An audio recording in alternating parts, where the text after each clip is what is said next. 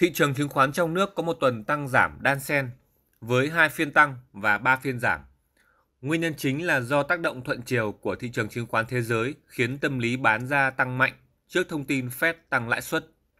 Thị trường khép lại một tuần giao dịch đầy biến động, song VN Index vẫn trụ được mức 1.200 điểm, dù trước đó phải vá đáy cho mốc này.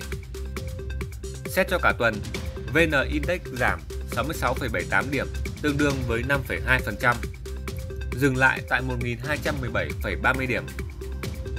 HNX Index giảm 26,38 điểm, tương đương với 8,61%, dừng tại 280,06 điểm.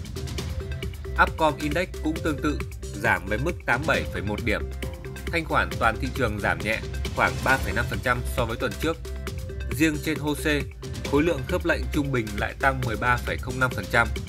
Khối ngoại vẫn là một điểm sáng khi mua dòng tốt đạt 1.196 tỷ đồng.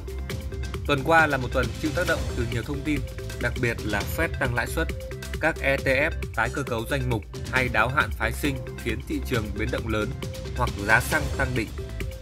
Tuy nhiên, một số ý kiến lạc quan cho rằng thị trường kỳ vọng tích cực hơn vào tuần mới khi tin xấu đã qua.